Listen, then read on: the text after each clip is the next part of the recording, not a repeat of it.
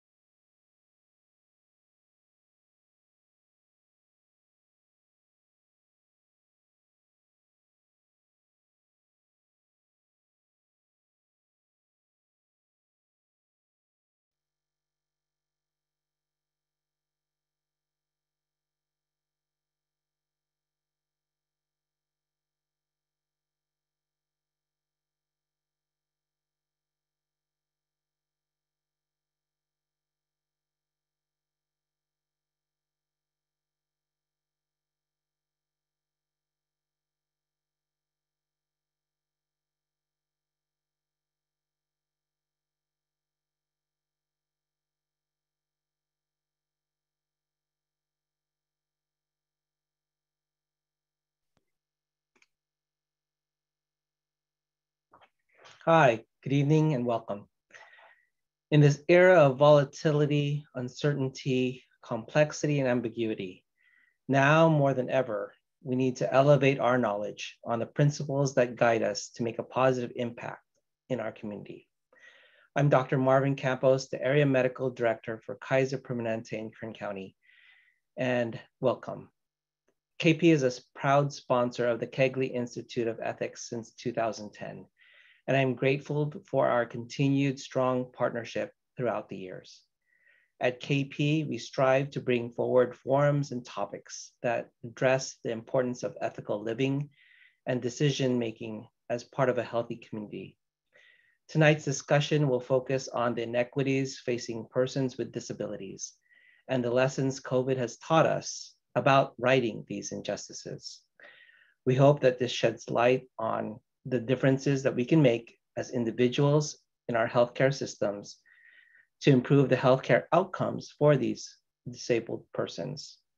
I know you will find enlightening and intellectually stimulating. Thank you for being here.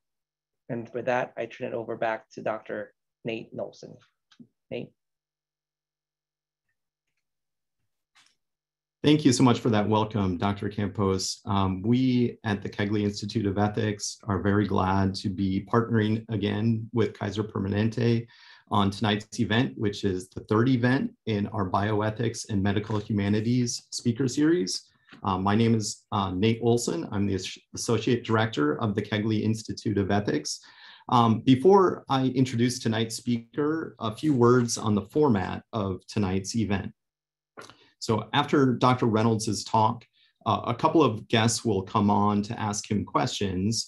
And after that, after a couple of guests ask questions, we're going to open it up to questions from you, the audience. So um, you can see at the bottom of your screen, there's a Q&A button. Uh, at any point during tonight's event, during Dr. Reynolds' talk or after Dr. Reynolds' talk, you can submit questions for him in the Q&A using that Q&A button. Um, during that end portion, the Q&A part, we will, I'll pose some of those questions to him. Um, also, uh, toward the end of tonight's event, we will place a link to an evaluation in the chat.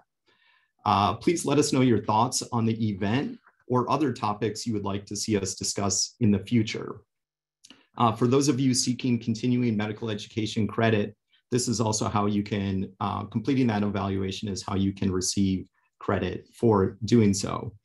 Uh, there's no clinical content in tonight's event and the participants have not received any commercial support. Uh, the event has been approved for one hour of continuing medical education credit and one hour of continuing education units.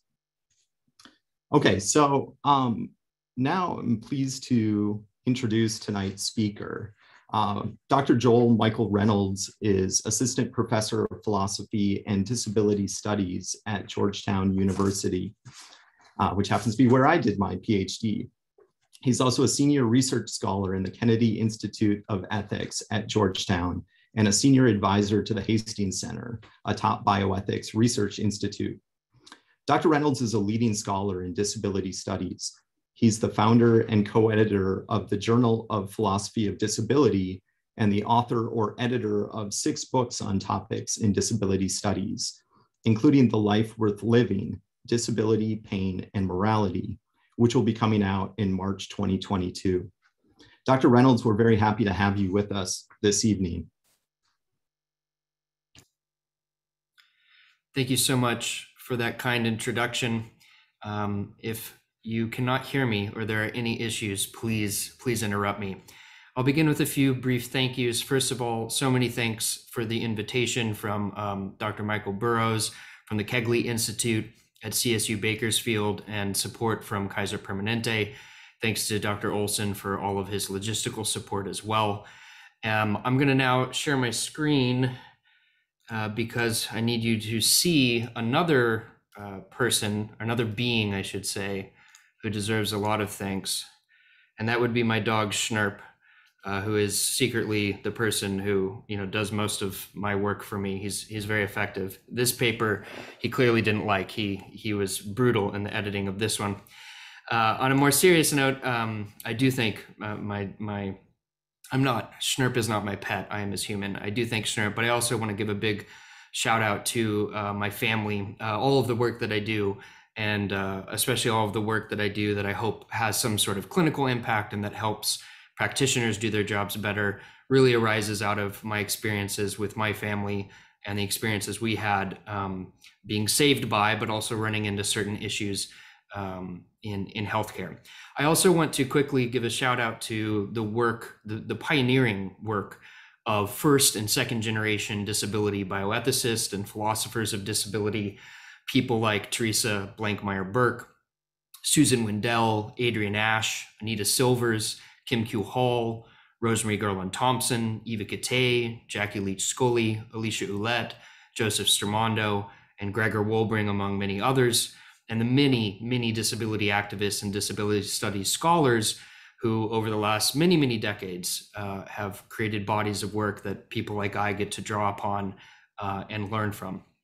In terms of accessibility housekeeping, uh, again, to repeat, please interrupt me if there is some sort of problem or something is is going awry. I do want to give a quick content warning. There will be some talk of things like eugenics, infanticide, issues surrounding disability stigma. So, um, you know, if you need to pull yourself away from the talk, uh, please be prepared to do that. So let's jump in. I'd like to begin with two quick quotes. First is from Susan Wendell, who I mentioned uh, a bit ago. She writes in her 1996 book, The Rejected Body not only the architecture, but the entire physical and social organization of life assumes that we are either strong and healthy and able to do what the average able bodied person can do, or that we're completely disabled, unable to participate in life. And the second quote from um, psychological ecologist J.J. Gibson, who writes The meaning of a value, excuse me, the meaning or value of a thing consists of what it affords. As a bright eyed eight year old in rainy Oregon, few things seemed cooler to me than Hollywood, California, the land of picture perfect beaches, fast cars, and blockbuster movies. That summer, my film industry uncle rode his Harley up I 5 through the towering redwoods and into the land of Douglas firs to visit my family. Despite tales of A list stars and the Sunset Boulevard life, the conversation around our dinner table that hot July night turned to the mundane. My uncle did not wear a helmet when he rode his motorcycle. In fact, he refused to. This alarmed my parents, eager to instill in me the idea that helmet wearing was mandatory, no, whether I was riding a bicycle or, or you name it. But in response, to prodding, my uncle did not mince his words. I'd rather be dead than disabled. Silence filled the room. That fateful phrase hung on the air for what seemed like an eternity as Jason, my brother and my best friend, sat next to him in his shiny new wheelchair, being fed by my father, Alan. My maternal grandparents, in the transitional thickets of age and illness related disabilities, they sat on his other side. And my mother, Gail, recently diagnosed with temporomandibular joint disorder, TMJ, fibromyalgia, and other conditions that would quickly lead her to become disabled, she sat across the table as well. I wasn't angry then, but I am now. Not at my uncle, but at that idea. I'd rather be dead than disabled. I soon came to know that many, far too many across the globe, hold that idea without compunction. I learned that the road to death for countless people with disabilities across history have been paved by that idea and by ones like it.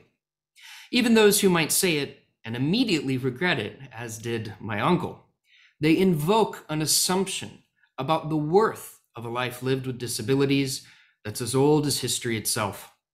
For example, on his deathbed, Socrates asks, Is life worth living with a body that's in a bad and corrupted condition? In no way, replies his friend Crito. The question of a worthy life, of the good life, has always been a question about disability. As my eyes pan slowly across the dinner table to gauge others' reactions, my mind's eye focused on a very simple fact. The sheer existence of so many others seemed to prove my uncle wrong. My life, the life of my brother, my grandparents, my mother, and the life of every other disabled person I knew and today know suggests the opposite. These lives suggest instead that being disabled is like any other significant facet of human identity. It shapes one's world, sometimes in good ways, sometimes in bad, but always in context and situationally dependent ways. What would it mean to take that insight seriously? Across the globe right now, racism, sexism, cisgenderism, ableism, ethno nationalism, and classism are being leveraged to spectacular effect. With little to lose and much to gain, fascists and demagogues wield power through bets underwritten by national and international corporations, bets by millionaires and billionaires whose God is green and who demands just one thing unfettered growth.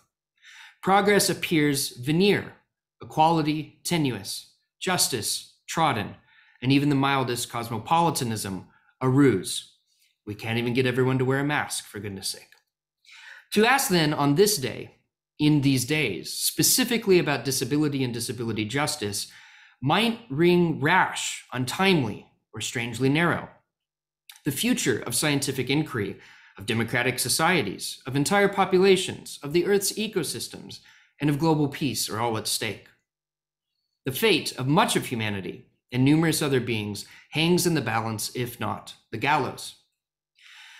I hope today to demonstrate why it is precisely with such stakes in mind that disability justice must be addressed.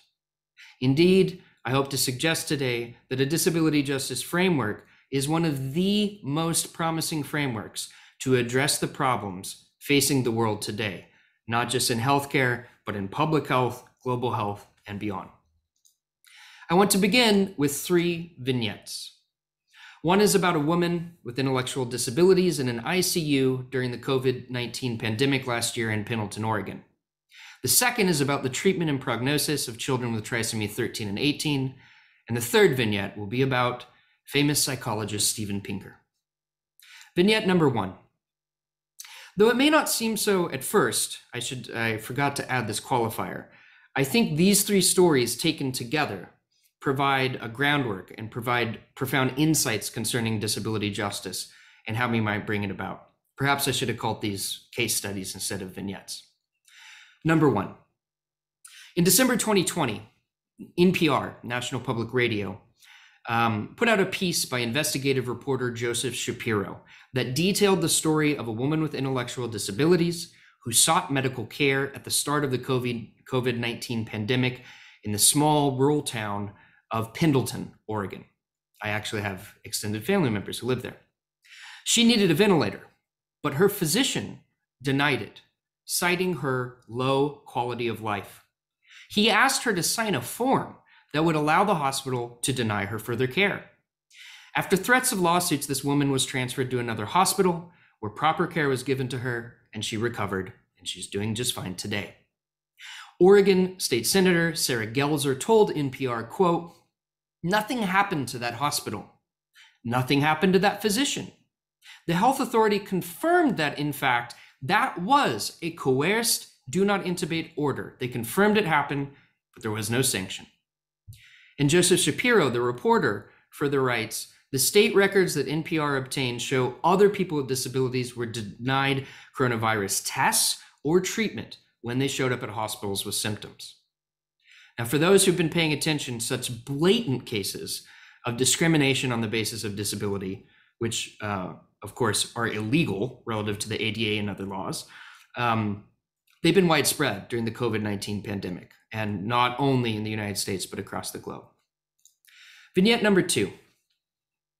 In 2016, John Lantos, a practicing pediatrician and a bioethicist, he published an editorial in the Journal of the American Medical Association that was entitled Trisomy 13 and 18 Treatment Decisions in a Stable Gray Zone. And I want to read a long quote from the beginning of that piece. He writes 30 years ago, pediatric residents were taught that trisomy 13 and 18 were lethal congenital anomalies. Parents were told that these conditions were incompatible with life.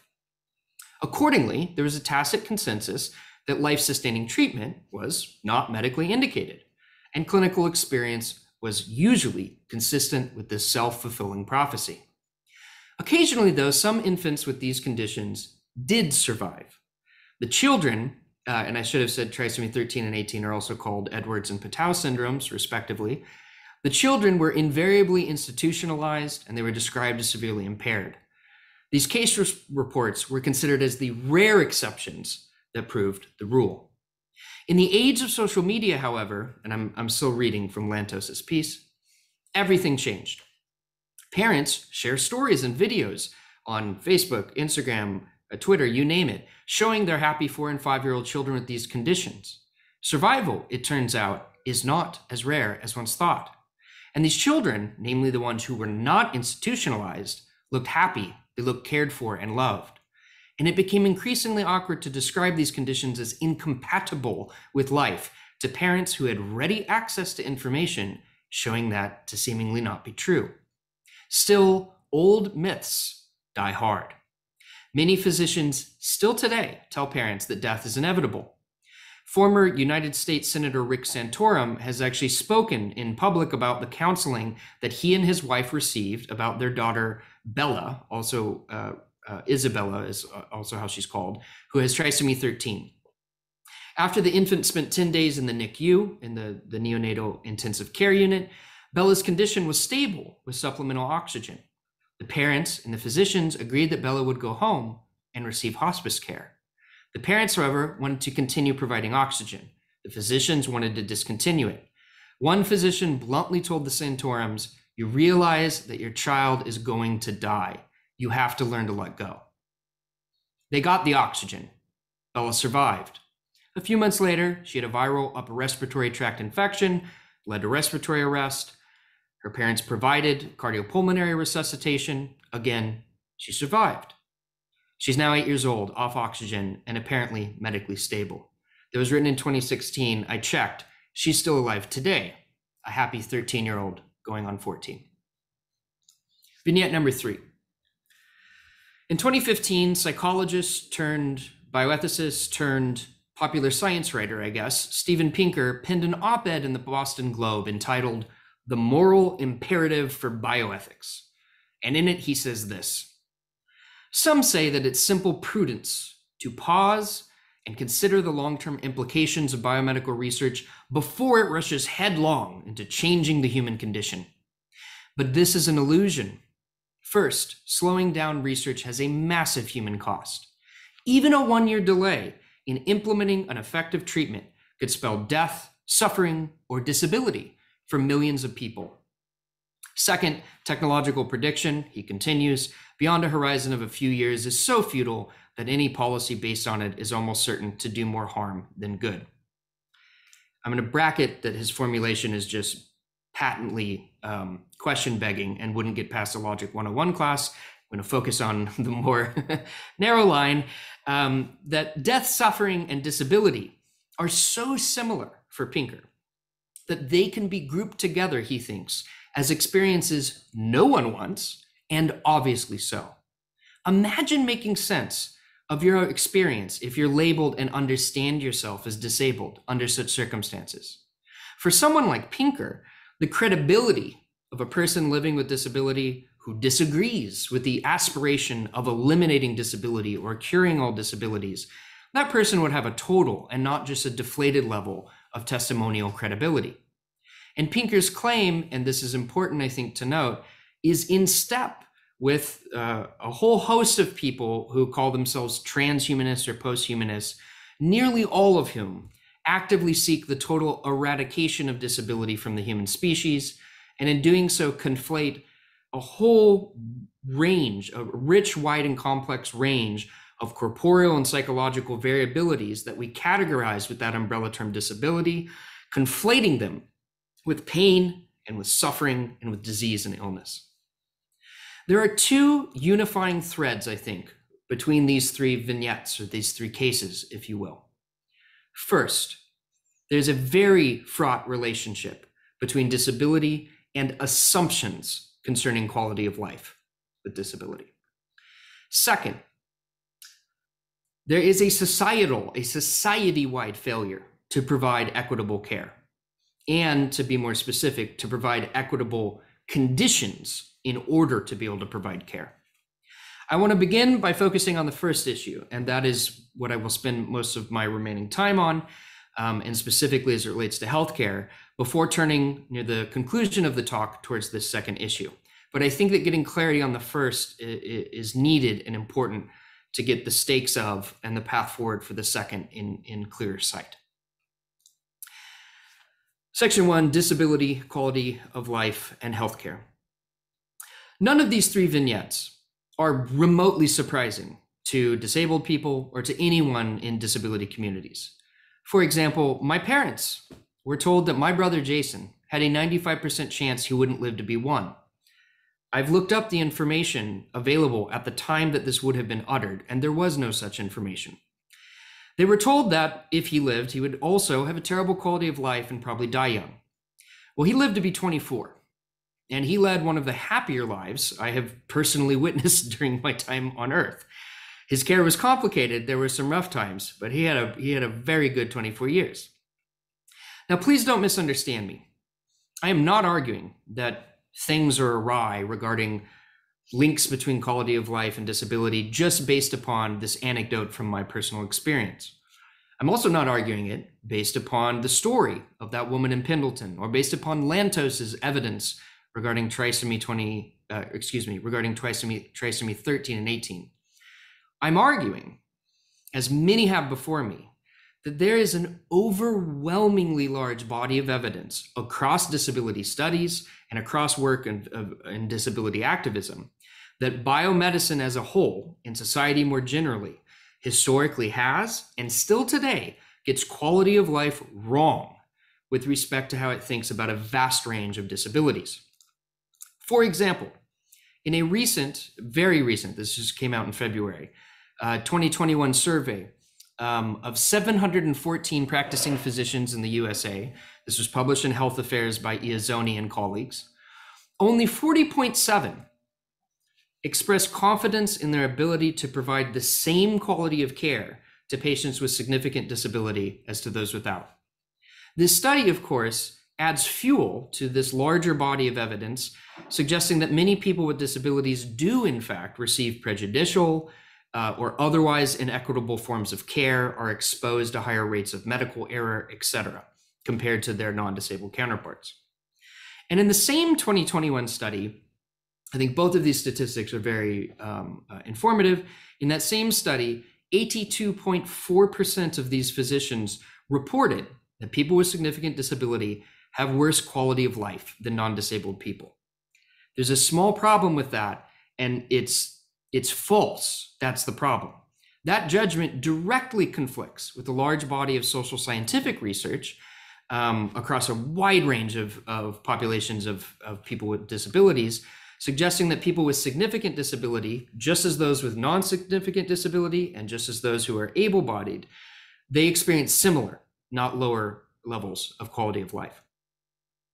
Now, these findings are especially worrisome with respect to at least the following three implications, right? One, there's a substantial discrepancy between how disabled people in fact experience their lives and how many, not all, how many physicians conceive of the relationship between quality of life and significant disability. Two, there may be some sort of link, there likely is, there may be some sort of link between that discrepancy and the quality as well as the equity of care for disabled patients. And three, this issue does not seem to have uh, improved in a statistically significant way for decades. There's studies like the Iezzoni one, smaller studies uh, going back to the, the 90s that suggest this similar divergence between actual evidence regarding QOL for people with significant disability um, and physician judgments regarding it. All right, so there's the problem how should we think about this? How should we how should we get around uh, what we could just summarize as let's call this the disability health disparity problem? Well, let's let's back up a little bit and let's think about some of the the ways in which this can impact care. Right. So we know, among other things, that patient provider, excuse me, patient practitioner communication, as well as the role of implicit biases of various sorts, uh, those can, in and of themselves, affect health outcomes. We also know that in addition to issues with QOL uh, and people with disabilities, at a much broader level, there are some studies suggesting that physicians systematically underestimate patients' level of communicative satisfaction. That's patients across ability categories. Um, and those communication issues, there's some evidence suggesting that whatever's going on there might track issues uh, along uh, identity categories, racial differences, uh, question uh, uh, sex, gender differences, etc. And we also know from some research, uh, like the Iezzoni study, that this issue is especially problematic with respect to patients with disabilities. Well, what's the underlying? Let's. I'll put on you know uh, the diagnostic hat. What is there an underlying cause here? Is there a root to this problem? I think if you look at research in critical disability studies, philosophy of disability, and uh, the field of what's sometimes called disability bioethics as a whole, a lot of this work, work would suggest that ableism is, if it's not the root cause, it's at least a core, perhaps primary contributing cause to these sorts of issues. Why? Well, on this sort of way of looking at things, it's via implicit and explicit forms of bias that then bleed into practices of communication that bleed into actual concrete practices inside of the clinic whether it's treatment protocol protocols whether it's differential diagnoses and prognoses et cetera that ableism leads practitioners again likely unwittingly to undervalue to misinterpret and to prejudge the lives the quality of life the, the, the character of life and the testimony of disabled people and of course this is uh, this is not just a like oh we this is all physicians fault right? This this is uh, something that exists in the larger society. Uh, this is something that i think is rooted not simply in certain aspects of medical education but education as a whole. And i both mean formal education and informal uh, education coming from religious communities coming from broader social cultural contexts and this negatively impacts the ability of physicians to provide the sort of equitable care that they would want, among other reasons, because it forecloses opportunities for practitioners uh, to be able to provide more capacious and health promoting framings of dis- disability experiences and do so in a way that then will uh, impact actual concrete uh, care. Now you might say to me, okay, this is an interesting hypothesis, um, but what in the world is ableism? Which is uh, uh, a very fair question to have. This term, uh, thankfully, I think is popping up more and more and more in just average everyday discussions, whether it's on TikTok or the New York Times. And as with any good, uh, uh, useful uh, concept. No one actually agrees on its definitive meaning. But let me give you the kind of Disability Studies 101. You learn this on the first day of class, sort of very simple definition. It would go something like this Ableism is the assumption, the default assumption, that the standard or normal able body is in and of itself better. It's just better, it's preferable than non standard or abnormal forms of embodiment, usually forms we call disability. Or called disabled. Ableism is that assumption and the discrimination and the oppression and the stigmatizations that result from that assumption. Now, you might read this and think, wow, that seems like so you've got you know the assumption aspect that feels like it's just a question of people's beliefs or judgments it's very cognitive and then you're referring to its impacts in the world is is ableism just something that lives on in assumptions and of course disability studies scholars will be very quick to say no this is not just about what individual people think ableism can be seen everywhere once you know how to look for it in how buildings are built in how institutions are structured in norms regarding labor stuff, and you, you name it. And so ableism always should be thought of as having structural components in addition to individual or cognitive ones. And so you can think about this in terms of structural ableism, right? So the systems, the practices, the institutions, the habits that assume able-bodiedness as, as, as default, as a fundamental good that can result in either purposefully or incidentally that can result in the exclusion, stigmatization, discrimination, oppression against disabled people. That's the simple, very, very uh, um, not very nuanced explanation of ableism. Um, the point of this, and I will give you in just a second a more nuanced version of it. The point is that whether or not any given individual, and whether or not you, whoever you might be, holds ableist views, able bodied people benefit from structural ableism. I'm ambulatory, I can use stairs to walk. I benefit from a world that usually has stairs as a way to get up an incline from point A to point B, and that excludes people who that's not their modality of, of getting from point A to point B over an incline.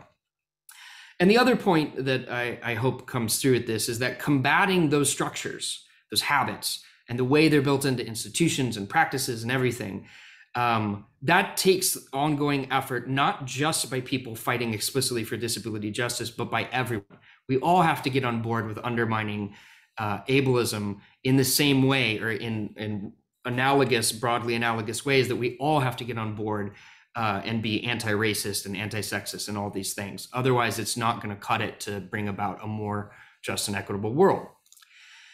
I won't spend too much time on this because this could be like, well, this could be a class all on this this slide. But I do want to give a shout out to to Talila A. Lewis. Lewis is a disability uh, scholar and and uh, activist, and Lewis has this working definition of ableism up on Lewis's website that I find to be this is probably the most nuanced and in some ways I think certainly historically accurate understanding of ableism I've run across. Um, and I'll just read it out loud and kind of leave it as something for you to think about. Uh, one of the things I like about this is that the definition ties in how structures of ableism actually relate to a longer history, especially in a US context, one that involves everything from the transatlantic slave trade to histories of colonization and genocide against indigenous peoples, etc. And the way that Lewis defines this is as a system, ableism is a system. Note right there, we're not sticking uh, we're not thinking merely about individuals, uh, individual beliefs or judgments.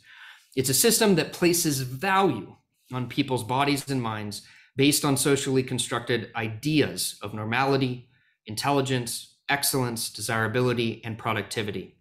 These constructed ideals are deeply rooted, uh, and especially in a U.S. context, there would need to be probably some some modifications here if we're talking about I don't know Brazil or talking about India, et cetera, some at least um, deeply rooted in anti-blackness, in eugenics, in misogyny, colonialism, imperialism, and capitalism.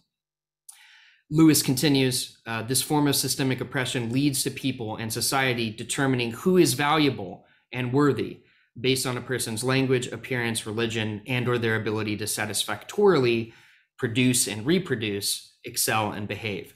And Lewis ends by saying, you don't have to be disabled either labeled by others as disabled or identify as disabled to experience ableism at this systems level. And if this seems um, abstract or too complicated, uh, I could tell you lots of stories of being in the ICU with my brother Jason and hearing like three feet from my parents and I uh, having a an RN be like, I don't know why they're caring for him. Like and the implication being his life doesn't have any value he couldn't go to school because of the particular way his body and mind work. He wasn't part of the labor force. They didn't understand why we would care for someone who wasn't whose body and mind wasn't valuable and worthy relative to whatever assumptions were in this particular person's mind. And the fact that Jason was, you know, that we that Jason was white, my family's white, this would have played out, of course, very differentially if uh, if we didn't have the privileges of whiteness. This would have played out very differently if we were poorer than we already were. This would have played out differently if we didn't have health insurance, um, which we did thanks to my dad's construction job. You know, there's a whole intersectional story to be told there of how ableism will play out differentially relative to valuations that involve all of these uh, different uh, identity categories and ways that we socially carve up people and assign value or difference to them. I'm running out of time to give you the little um, uh, mini history of philosophy uh, um, jot, uh, jaunt, jaunt. I think that's a word.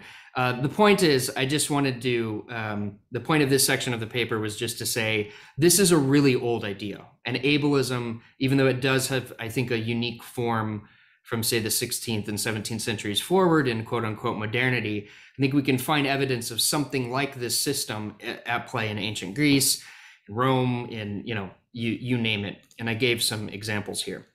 I also gave some examples to say this the very negative, the blatantly eugenic views towards disability that we see during the eugenic movement in the US at the turn of the 20th century. Um, these ideas really haven't actually gone anywhere. They're just popping up in different spots.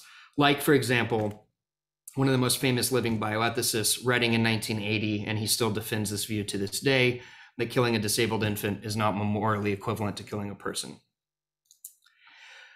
So, what is the way around ableism? How do, how do we approach this as a problem? And how, how does one approach it not simply as one uh, goes about one's daily life, but how does one think about this at the level of uh, in the clinic and at the level of actually communicating with real disabled patients? Well, one of the most important things, and here I'm just saying, you know, really the mantra from disability studies disability is everywhere once you know to look for it, but you have to learn to look for it and you have to do the work to learn about it.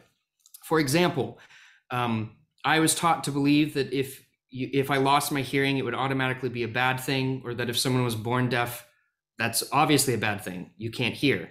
You learn about deaf communities, capital D. And there are some people who are who have audiological loss, quote unquote, who in, who love being deaf and they view it as being a part of a community, a signing community, whether they use American Sign Language, British Sign Language, whatever it might be. And signing communities have rich histories. There's deaf rap. There's deaf, you know, there's all sorts of stuff that is built around this way of interacting in the same way that there's rich histories and culture and all sorts of things built around distinct languages, whether it's French or whether it's Mandarin or you name it. Think about um, the way we are often taught with a kind of default ableist assumption that, oh, well, if you are impaired in the sense of not having legs, obviously that's a bad. Then you learn more about prosthetics, especially some of the more recent stuff, and you find that people like Oscar Pistorius were barred from being part of the regular Olympics because he was seen as having an advantage, an advantage over those with biological limbs. These cheetah blades um, uh, cost, they had a lower metabolic cost and all of this stuff.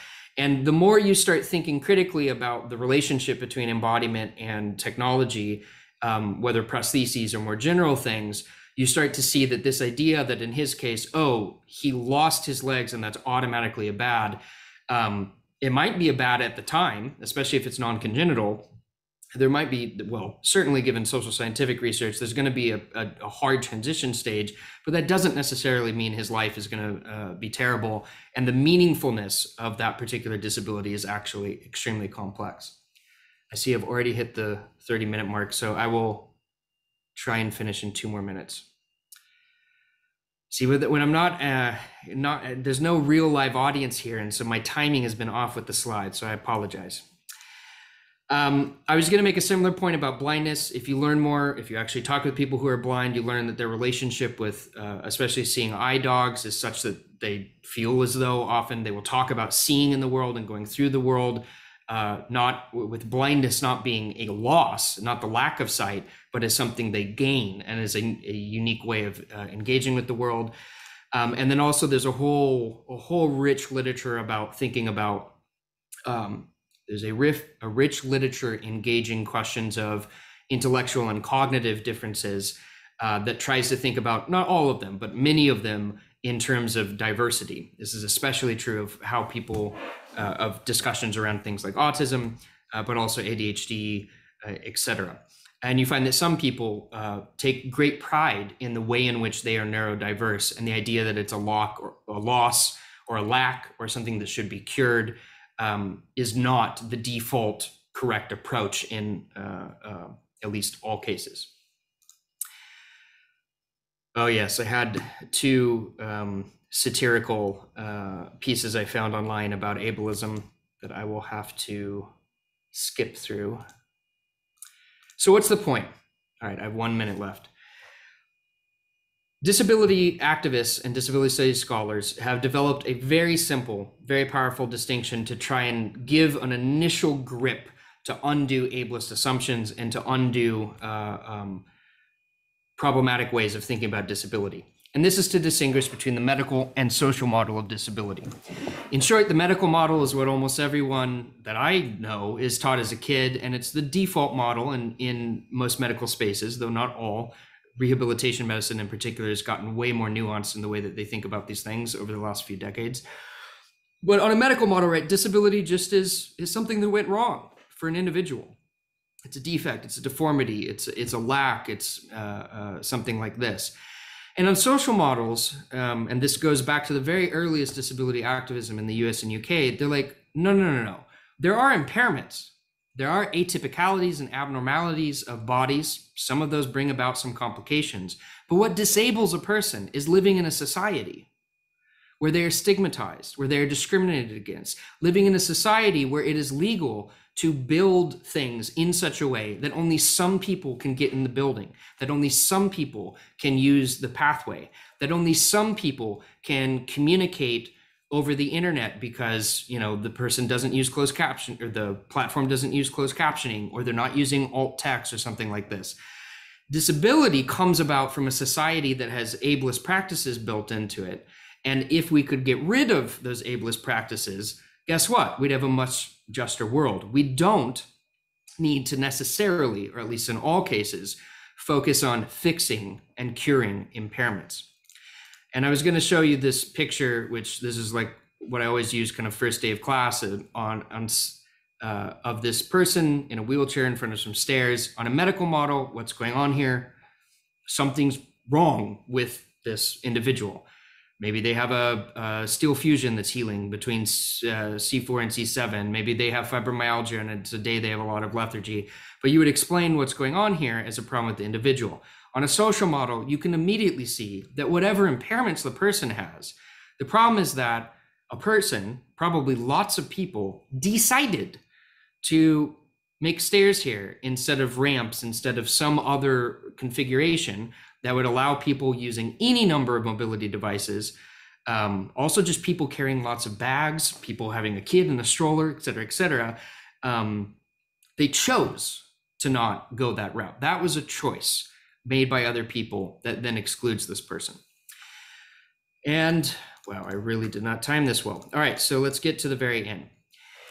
There is, I just gave what I think is a kind of disability studies 101 entry point to thinking about how to undermine and undo ableism. Well, what is the next step? How do we stop things like the situation in Pendleton, uh, Oregon from occurring?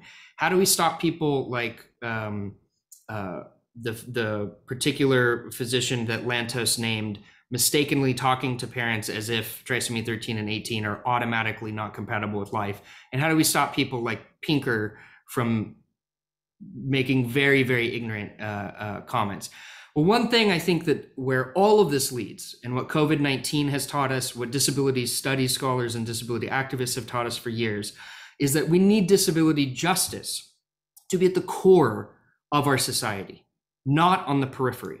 What does that mean? I'm going to skip that slide. I'll come back to it in the Q&A. First of all, anti-discrimination approaches like the ADA are just insufficient. We need a constitutional approach to disability rights.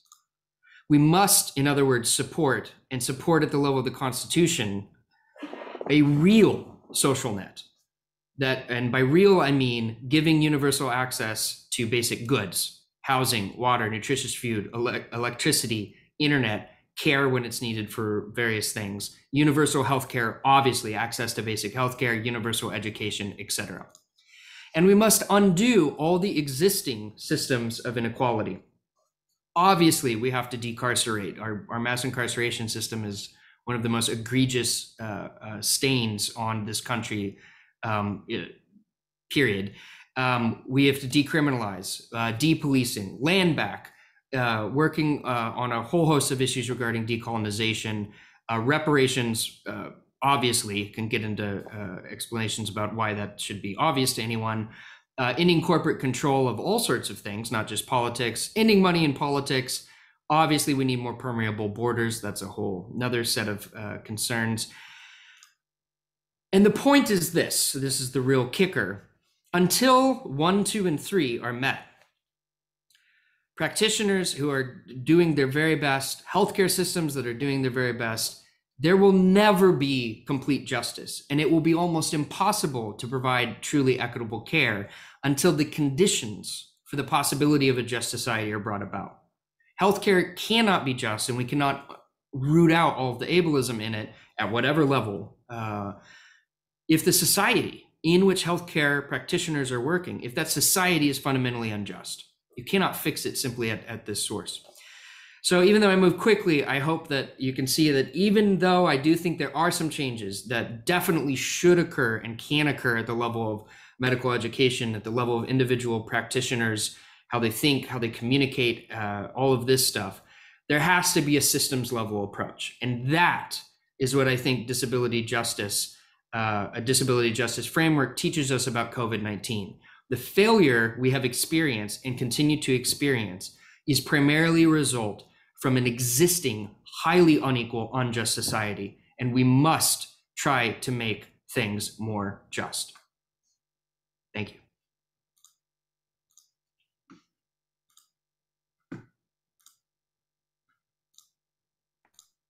Thank you so much, Dr. Reynolds, for that uh, very rich talk. There's a lot to talk about here with this, and um, I want to remind our participants uh, that to submit questions using the Q&A function at the bottom of your screen. Uh, we're going to get to those questions in Q&A uh, very soon here. But first, we have a couple of guests to lead us off to ask Dr. Reynolds uh, a couple of initial questions. So first, our first question is going to come from Dr. Andrea Yanez, who is a family medicine physician and the physician champion for equity, inclusion, and diversity for Kaiser Permanente, Kern County. Dr. Yanez? Thank you, Dr. Olson, and thank you, Dr. Reynolds, for that um, great discussion about uh, disability uh, justice. And I think it brings up a lot of questions currently. You mentioned the COVID 19 pandemic and what physicians and providers are really facing is this shift in medical care to the virtual space, both uh, telephone visits and video visits. And I'm wondering if you can either kind of let us know based on your personal experiences or your research and what you've been hearing over the past you know, almost two years now, how um, is that virtual space in healthcare impacting patients or people with disabilities? And what advice might you offer to physicians or practicing providers in terms of helping make that care more equitable? That's a fantastic question. Thank you so much. Uh, I think that one of the the biggest kind of lessons to come out of the engagement that disabled people have had with the healthcare system over the last few years is trying to, um, from the get go, think about patients as as partners uh, in care in many different respects, and not just in kind of a metaphorical sense, but in a literal sense. And I have, you know, heard just anecdotally from some people where the shift to a more virtual environment has been fantastic. Like, uh, I mean, even in uh, with respect to my family's life, like it's really hard for my mom to physically get to appointments, and being able to have virtual spaces and do virtual appointments has been a, a boon. But of course, for some, uh, it's been really insufficient. Um, uh, sign language interpretation hasn't necessarily uh, been provided when it's needed. Captioning hasn't been provided when it's needed.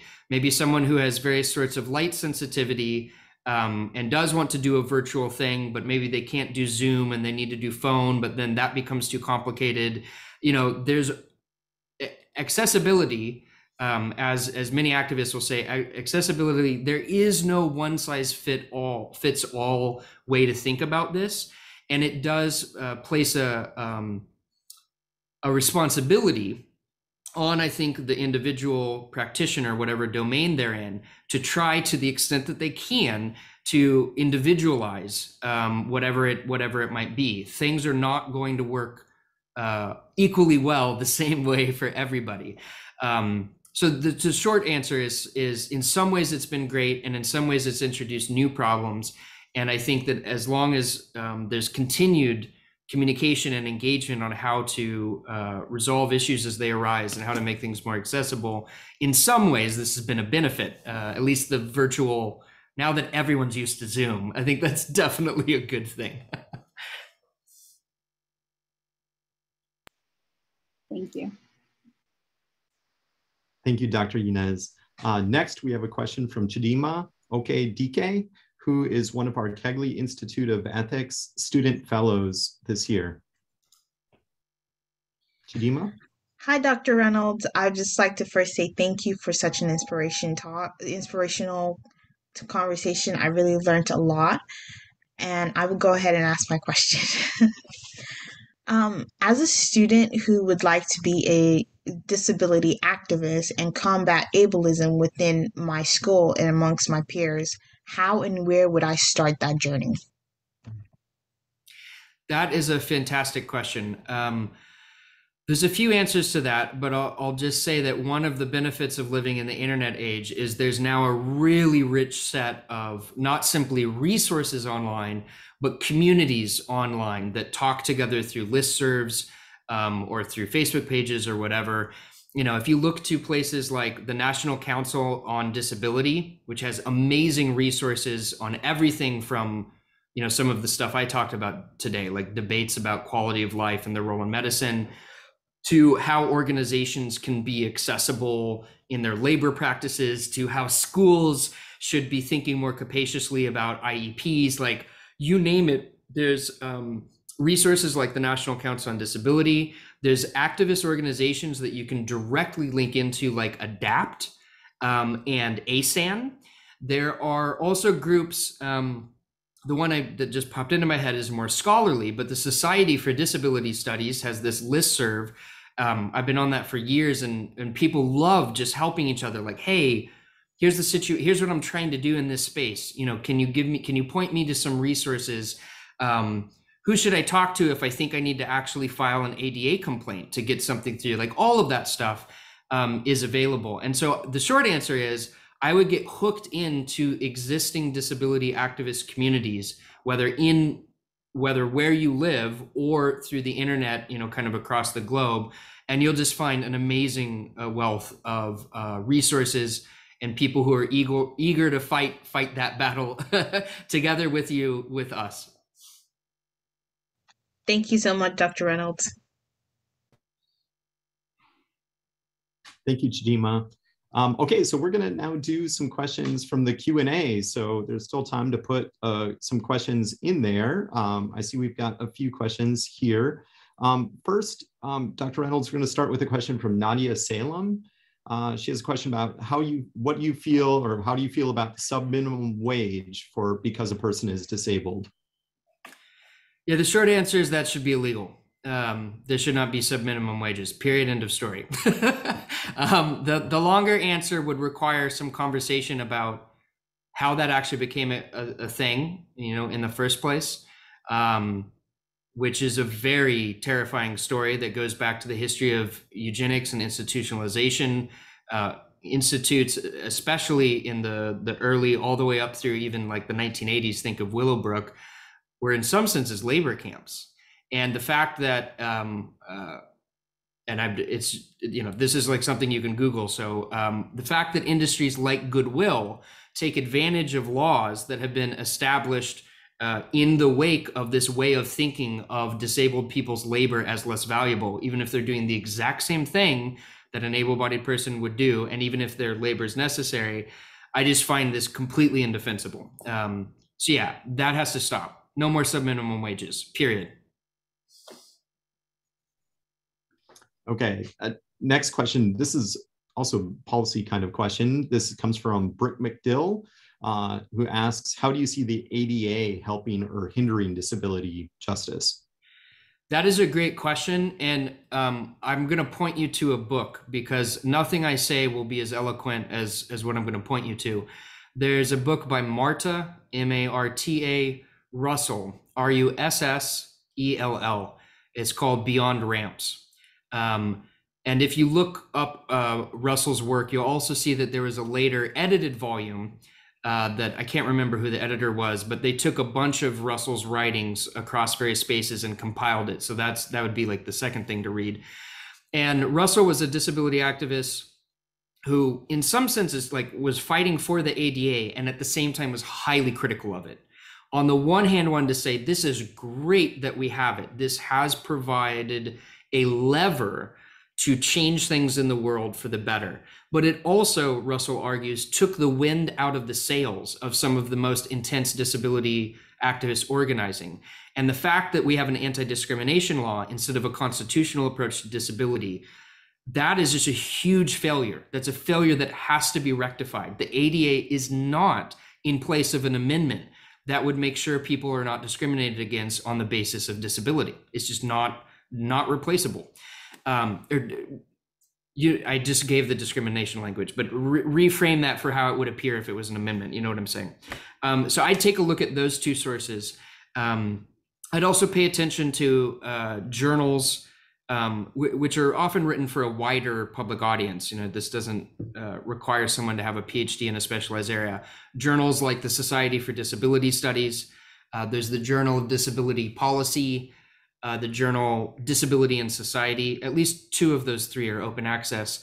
Um, and they have, if you just Google ADA kind of critique, you'll find some very interesting analyses, whether they're coming from sociologists, activist spaces, anthropologists, philosophers, you name it. Okay, this next question comes from Deborah Jackson. Uh, says, thank you so much for your talk. Um, I'm a fan of your work and learned so much from you. Um, she says, I'm a parent of a child who could be characterized as neurodivergent, and I struggle with understanding that difference as a disability versus as an impairment. I'm wondering what you think of the use of medication to treat um, neurodivergence with scare quotes around treat. Um, does that buy into a way of that view of difference as a flaw that needs correction? Um, or is there a way to understand it as medical protest um, that facilitates access in a world uh, designed for people who are neurotypical. Sorry, it's kind of a lot. A lot in that question there. that's a, that's a great question. Um, a really great question. Th- this I think is very hard to answer in a in a straightforward way because a it's often highly individualized. I don't think we can just. I think it's irresponsible to just make claims you know, for example, let's let's let's restrict ourselves to talking about um, autistic people to just make claims about what is right or wrong at that level of generalization or what should or should not be done. I think is is a should not be done. um, having said that, one of the things that you know I have learned from like the organization ASAN that I've learned from scholars and activists like Lydia XZ Brown uh, is that the starting point for these sorts of questions, the starting point has to be in the testimony and the evidence and what people with these conditions actually say. So, in the case of the question you asked, um, hold on, I'm just pulling back up the the wording. You know, I would be very interested to to not simply hear about what how your child thinks about these things, but also what do other people um, in similar ages or, or wider age ranges who identify similarly, who are facing similar sorts of differences and, and maybe modifications at the level of how their education goes, or maybe interventions that are, that are, are medicalized or not. Um, I would want to go to, to them to find the answer. Um, to the specific question of the medication to treat neurodivergence, yes, this gets tricky because there's a little bit of a cart horse being put before the cart, cart before the horse. Um, treatment is a loaded word, right? Um, you know, it, it, it it's you know, I know people who have uh, uh, let's so I have I have depression, I have generalized anxiety disorder, and some other stuff. Like I need medication. like I need meds uh, to address what is on some level an underlying biochemical uh, uh, issue in my case. To talk about when I talk about depression and when I talk about anxiety, and I reflect upon the ways in which those things have modified and and shaped my identity and my person it feels a little weird to say that i'm treating my depression and anxiety in that sense. On the other hand of course i'm treating it in the sense that these the, in my case the medications are very very helpful for me. Um, and i want that sort of narrow biomedical intervention. I, I really want that. While i want us to not overly pathologize anyone who has depression or what used to be called schizophrenia or like you know you you go through the history of medicine and the way we overly medicalize things i mean adhd is probably the most obvious example here is itself a problem. So i think we need a really this is all to say i think we need a very nuanced uh, very complex set of discussions and understandings around this. And i'll give a shout out to the work of Erik Parens. Um, he has um, i think his the, the book i'm thinking of is called shaping humans. Hold on, let me just Google this to check.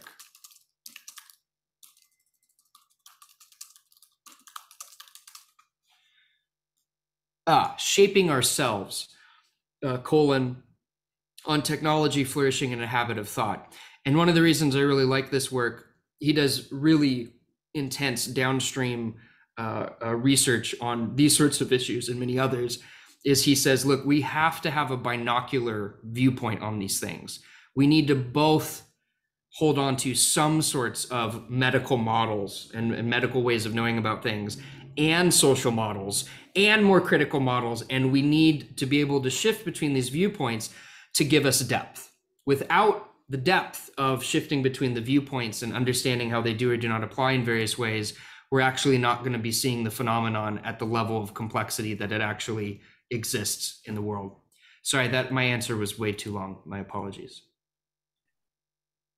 No, I think that was a great answer here. So we're starting to get to the end of our time here. I'm going to combine a couple of questions into in one question here. So we have uh, a couple questions about medical education and thinking about uh, medical education. So from uh, Tiffany, she mentions that from the very start of medical education, uh, we as physicians are taught explicitly and implicitly to just keep working through illness and disability. Uh, her question is what sort of changes can we make to medical education and culture to improve the acceptance of disability within our uh, community? And then a different question from Tiffany Sansoulis is asking, have you made strides and changes in medical education? Have disability studies scholars, have you started to see how medical education is changing because of work that like what you're doing? That's um, both of those are such great questions. Thank you. Yeah, I, so I have many friends who are are medical practitioners of various sorts, whether you know neurosurgeons, uh, RNs, GPs, you name it. And I'm just it is terrifying to me what they are put through uh, in, in, med school and the demands that are placed on their bodies and minds and the the you know I I don't have the answers for how to reform. I'm the wrong person to ask on how to reform medical education but it seems to me that actually the very structure of medical education and the demands it places on people is a perfect example of an ableism that here is negatively impacting people who might actually think of themselves as completely able bodied. Um, and the mental health effects and the physical effects that this sort of stuff has is problematic. And as you pointed out, because it, the system is structured that way, it also keeps excluding disabled people who might come into the profession and be physicians or be RNs or be surgeons or what or radiologists or whatever it might be, it's excluding them from the get-go. They don't even necessarily get into the process. Um, so I don't have the answer. I don't know. Give more time. Give like I have no idea at a structural level how to change it. I mean, PhDs are bad enough. I barely made it through mine, um, but it has to change. I feel like it it just it has to change. The demands placed on on medical practitioners, especially at the tr- through the training, is just too much. I just think it's it's just too much. Um, regarding the second question. Um. Sorry, the second one was about, um, have you started to see changes Oh. already, given your work that you're doing with disability studies? Yes. So on the one hand, there's way more that needs to be done. You know, as those vignettes exemplified. Um, on the other hand, let me let me point out two really promising things. One, right at the start of the COVID nineteen pandemic, right when some of the headlines were coming out, and some of these amazing reporters like Joseph Shapiro, David Perry, and these others who are on the disability beat for big national um, uh, journalistic outlets were reporting about discriminatory uh, crisis standards of care policies. I mean, there is a huge, you know, you started seeing pieces in the New England Journal of Medicine, in the Lancet, in the Hastings Center report being like, hey, stop it. You know, like, here's how these things have to go if you're not going to be discriminatory. Um, not just discriminatory in an ethical level, but also not breaking the law.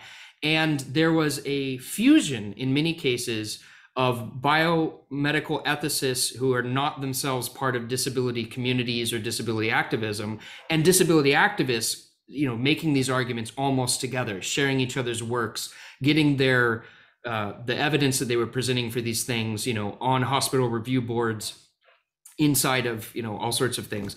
And even the un the the un by april they already had a guidance statement out relative to the United Nations conventions on the right with people with disabilities, persons with disabilities, saying, hey, 180 signatory nation states, of course, the US hasn't signed on because, yeah, that's another story. Um, hey, you need to be thinking about this stuff with the pandemic to make sure you're respecting the rights of people with disabilities. All of that was extremely encouraging. It's also encouraging. Uh, I wouldn't normally plug something I'm a part of, but in this case, it's appropriate. I had the great joy of co-editing um, what's called the Disability Bioethics Reader with Christine Wieseler. That is coming out with Routledge in May or June at the latest. It's a 37 chapter book that can be used in medical education, uh, uh, college, university education, continuing medical education credits that goes through some uh, a number of core bioethical issues and just biomedical issues, issues that uh, many of the chapters are just stuff that clinicians will face and does it through the lens of research in critical disability studies, through the lens of research in philosophy of disability, and as rooted fundamentally in the experiences and and uh, and work by by disabled people and disability activists. And just the fact that we got the book contract, that it's coming out, that it'll be out in the world, um, and you'll see it's just an amazing lineup of scholars you know that really makes me happy. And we'll see if a lot of people start using it and if it you know takes off. There's at least a reader now. So that that's better than there not being one. Um so yeah there's those are two bright spots in an otherwise very very harrowing uh uh set of unjust and equitable situations societally more generally. Thank you. Um, so there's we have a lot of great questions here in the Q&A. I, I think we've got time to do one more of these questions uh, tonight. So um, one question here from Grace uh, Neggs. I apologize if I'm not getting pronunciation of your last name correct here. Uh, her question is about um, government officials. What can or should government officials do to bring more awareness to disability rights and ethics, especially in the pandemic? What should young voters or activists do um, also to make this more a a more talked about issue? That is also a great question, and uh, I realize because of time we're not going to get to everybody's questions. So I just want to share my screen one more time and say um, I'd be super happy if you want to shoot me um, an email, and I'm happy to talk further about any of this stuff. I'm super happy to send you links to resources, all the amazing stuff out there from disability activists and, and disability studies scholars. So that's visible, right? You got my email on there and there's my Twitter too, just because I guess you it's obligatory to put that up these days. Um, So what can we do? Um, here, let me read this again. One of the most important things uh, is is getting disabled people in the room, putting them on the hospital review boards, having disabled people at the table in the policy, wherever the policy space is, whether it's in the White House, whether it's your local community, uh, whatever they're called, the you know, at all levels, there needs to be people. Um, who actually have these experiences at the table and knowledge. And of course, if for some reason that's just not possible, then at minimum, you need people who have uh, training and understanding in disability studies, disability activist work, and this sort of stuff. So, one of the biggest things is, uh, even though it sounds like a cliche at this point, but inclusion in the literal sense of getting better representation of disabled people at these various levels of decision making. Um, in terms of uh, what should young voters um, and activists do i mean as far as i can tell things are there's a lot going on. You know there's a lot of really exciting work. Um, i think i would go back to the work of people like talila a. Lewis dustin j. Gibson uh, leah lakshmi um, uh, Pip, Pip Nazara, um, I forgot the name of the other person. Uh, there are uh, disability activists who are doing the on the ground community engagement and community organization who are trying to put together and enact frameworks that think about disability justice alongside at the same time as and inextricable from racial justice gender justice justice for indigenous people um, you you name all of this stuff, and they're thinking in a in a very capacious sort of framework. And this, I think, is the most exciting thing politically. I mean, you saw tidbits of this if you remember Bernie Sanders' run uh, 20, 20 run for the 2016 presidency. You saw tidbits of this with some of his more universal policies, where he's just trying to be like, yeah, we have to have a base floor. Um, without the base floor we will never we will never get anywhere close to even pretending we're a just society. Um, and some of that stuff even though when you couch it in universal terms it doesn't seem intersectional i think that actually the logic behind some of that was very much a disability justice logic. You know you cannot let people be homeless in a just society. It's also just cheaper. It's literally cheaper if we just make sure no one is on the street um, and that in and of it, when you look at the relationship between people being unhoused and then the relationship between those people and our mental health care crisis and how many people end up on the streets who actually just have uh, uh, are underserved relative mental health then you look at the amount that end up in our prison and jail system where on conservative estimates over 50% of people in our mass incarceration system have a disability of some sort and you know that the 13th amendment has a loophole that allows them to work for free and it's just a new form of slavery. And you know that we have the largest mass incarceration per capita of any country on earth. And we have things way backwards like um, and these systems have to be rooted out uh, that they have to be undone and rethought. Um, and so i hope you know i do have hope when i see some of the younger uh, voters and activists who are just like no, none of the stuff y'all been talking about is radical enough. This is not enough. Also, climate change. We're past, we're on the precipice. Like, we've got like the clock is ticking, or all hell is going to continue breaking loose at levels that are going to just utterly destroy life for a significant, especially people in the global south, who it's going to impact more so people who are low economic status. It will impact disproportionately uh, I digress. I really got on the soapbox there at the end. Uh, so yeah, we need to fix everything, and I hope that uh, I hope that people with more energy than me uh, can figure out how the hell to do that. Um, yeah, thanks for the question. Thank you. I, I don't know how there's if there are more people or people with more energy than you. So it's you know I get my energy from my dog Schnurp. You know he he really he just emits energy and I get to soak it up. So. Well, that's great. Um, so I want to remind the people, the attendees, to complete the evaluation that we have in the chat here. Uh, you can see, uh, and uh, that gives us feedback both on this session, but also it's a chance for you to give us ideas for future or your ideas, you know, what you'd like to see in future sessions here too. Um, I want to close too with a, there's a, a, comment here I want to read to you, Dr. Reynolds. Um, this is from the president of our university, Lynette Zelezny, um, who says in the comments here, uh, powerful and brilliant lecture, Professor Reynolds, thank you for sharing your thought-provoking scholarship with Cal State Bakersfield. Your wisdom strengthens us as a compassionate university and challenges us as an institution that values equity and social justice. Thank you. That's very kind. Thank you so much. It was a real Thank pleasure you. to be here. Thank you. I really appreciate it. Thanks for everyone tuning in or watching later. Uh, I really appreciated the the rich responses and and this opportunity. I'm sad I couldn't be there in the sunny West Coast. I guess it's sunny here too. But anyway, I hope you all are okay out there.